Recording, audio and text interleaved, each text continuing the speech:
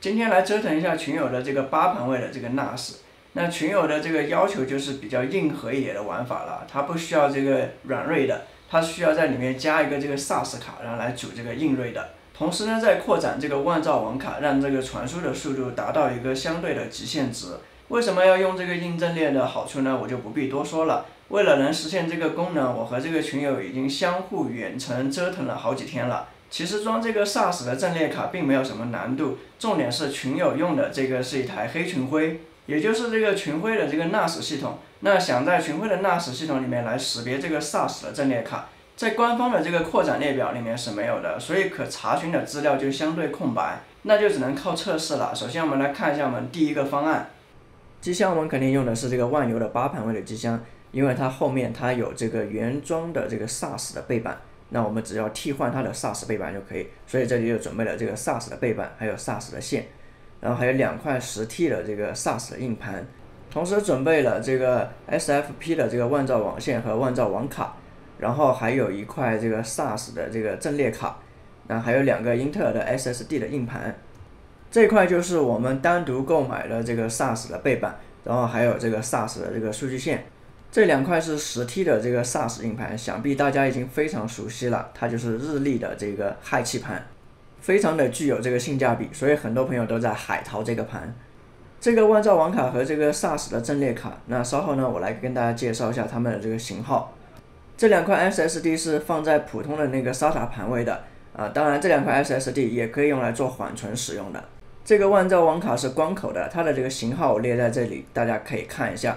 它的这个传输的这个速率是十 G 的，它在群晖系统里面是免区的，是可以直接使用的。这块万兆网卡也相对的比较便宜，所以性价比也是非常高的一块万兆网卡。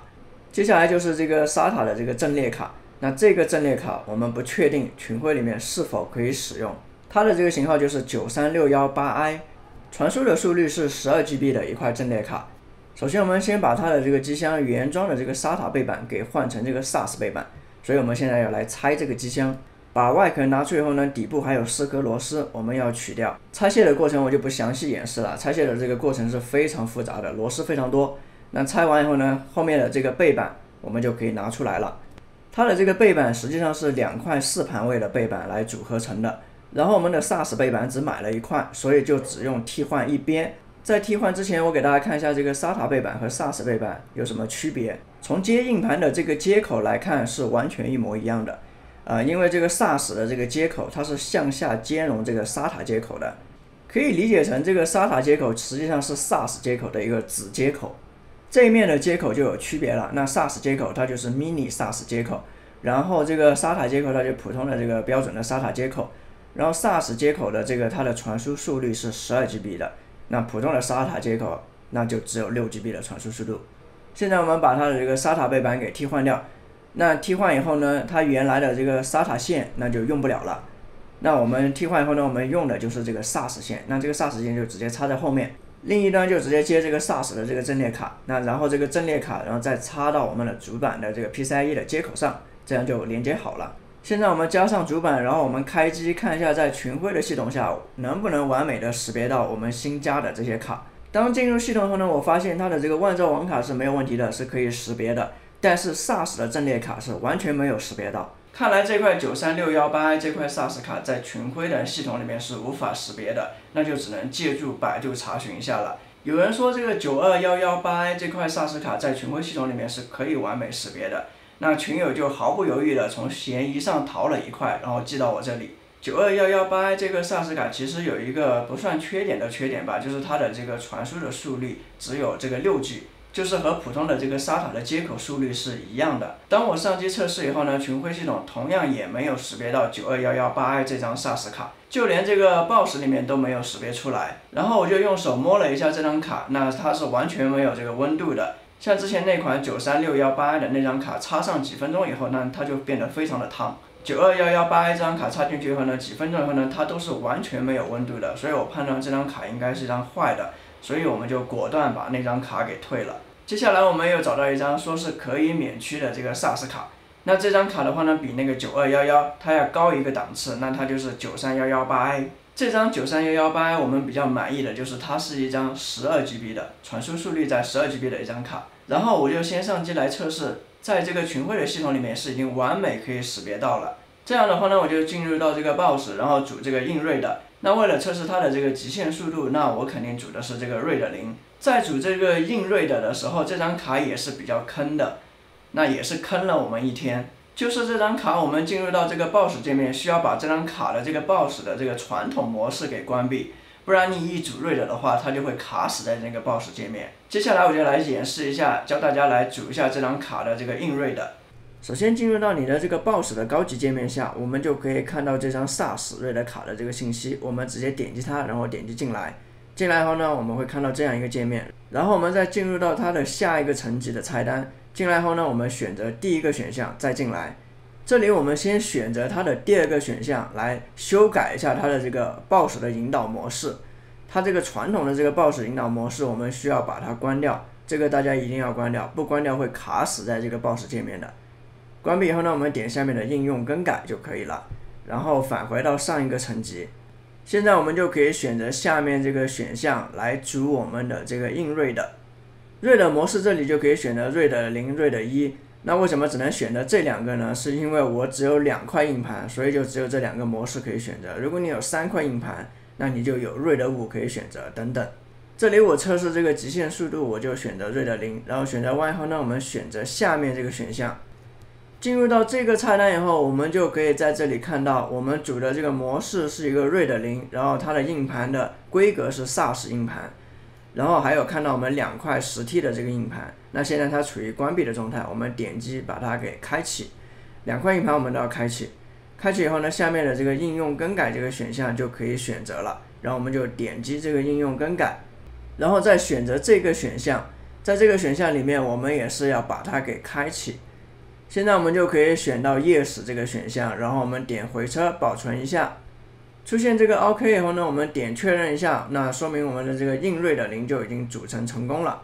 现在我们就可以点到下面的这个选项，我们可以看一下我们组的这个锐的的这个信息。点进来以后呢，我们可以看到我们组的是锐的零，然后它的这个总容量是十八个 T 可以使用。最后我们保存一下你的这个 BOSS 的信息就可以了。现在我们进入到系统，我们看一下。现在我连接的是这个万兆网卡，然后我们来看一下它的这个硬盘。那我这个硬盘的话，我现在放的是七盘位和八盘位两块硬盘。由于我在这个 BOSS 里面已经组了这个硬锐的，所以它就在这里只显示了一个盘位。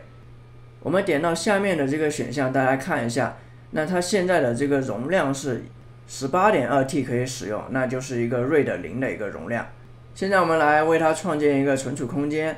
由于它在 BOSS 里面已经是存在的一个硬锐的零了，所以我们就选择这个基本的这个模式就可以了。选择基本模式，我们可以看到还是一样的，十八个 T 可以使用，只需要点击一直下一步，然后直到它这个完成它的这个存储空间的建立。现在我来建一个这个文件夹，然后呢命名为一二三，我们来测试一下它的这个传输速度到底是有多快。建立好以后呢，我打开我的电脑，然后通过这个 AFP 的模式来连接到这个文件夹。AFP 模式在万兆网卡的连接情况下是传输速度最快的一个模式。现在我的电脑已经连接到了这个一二三的这个文件夹里面了，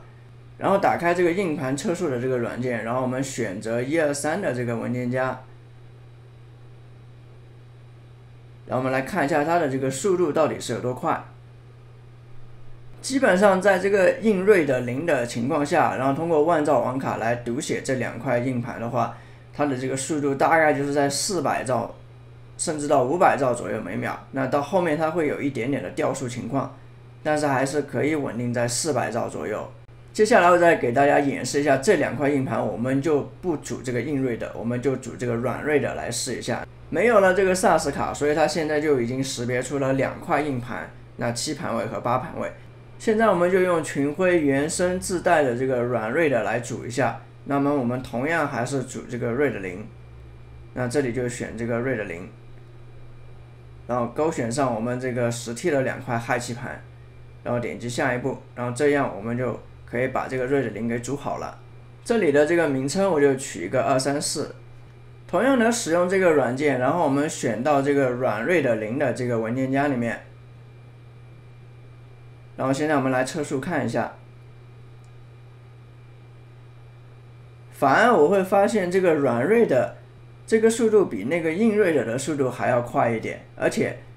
还比那个硬锐的的那个速度还要稳定，硬锐的还会有一点点的掉速情况。这个软锐的它的这个写入速度都基本上保持在五百兆左右，那读取速度基本上就是在四百兆左右。实际上，软阵列和硬阵列在传输的速度上都差不多。从稳定性的角度来说的话，那现在的软阵列已经做得非常的稳定了。家用来说的话，一般用软阵列已经非常足够了。除非你像这个群友一样的是一个极客玩家，非要上这个 SAS 的这个硬阵列卡，并且你是在这个群晖系统上来上这个 SAS 阵列卡的话，那我就推荐大家用这款我们测试的这款九三幺幺八 i 的这款 SAS 阵列卡。因为这张卡它可以被群晖系统完美识别，并且它还是一个十二 GB 传输速率的一张阵列卡。最后还是要提醒大家一下，这个十 T 的这个氦气盘不是说一定要用在这个 SAS 的阵列卡上才可以使用。那就像万有的这个机箱，它实际上是可以直接使用这个 SAS 硬盘的，但是就是说你要把它的这个背板